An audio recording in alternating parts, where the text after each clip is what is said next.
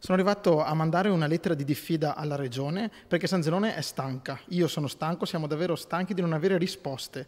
Dopo l'apertura della Pedemontana, Pedemontana che abbiamo subito, che passa nel nostro territorio e che abbiamo dovuto accollarci nel nostro territorio. La misura è colma per Fabio Marina, sindaco di San Zenone degli Ezzelini, comune attraversato dalla superstrada Pedemontana Veneta, ma rimasto all'asciutto di opere compensative. Eppure, sostiene Marina, c'è un accordo di programma sottoscritto nel 2012 che parla tuttora tuttora chiaro e che all'epoca aveva convinto il Comune a ritirare il contenzioso avviato al TAR proprio sugli interventi di mitigazione. Più di dieci anni fa era previsto il tratto ben più sotto di San Zenone, ma grazie a un accordo di programma è stato deciso che la pedemontana passasse a San Zenone. In questo accordo di programma era previsto, erano previste una serie di opere compensative per San Zenone. Vedi ad esempio la riqualificazione di tutto il centro del, del, nostro, del nostro territorio, vedi la rotatoria che deve essere realizzata all'altezza sicurezza eh, del municipio. Opere da circa 5 milioni di euro che riguardano anche le frazioni, progetti predisposti con il supporto di Veneto Strade ma rimasti sulla carta per carenza di fondi. Solo una frase, non ci sono soldi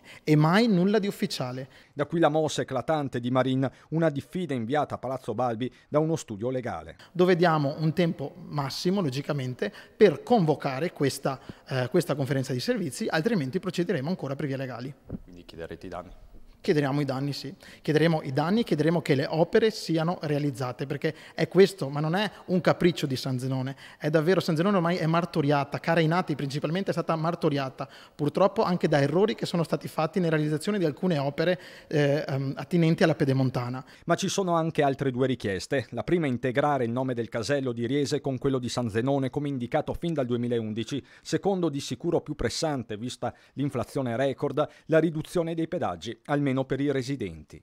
È inutile volere, una strada così utile ma con pedaggi così alti. Le persone logicamente fanno fatica a prenderla perché costa troppo, le aziende ne rimettono, per cui bisogna dare una mano anche su questo, nella riduzione dei pedaggi.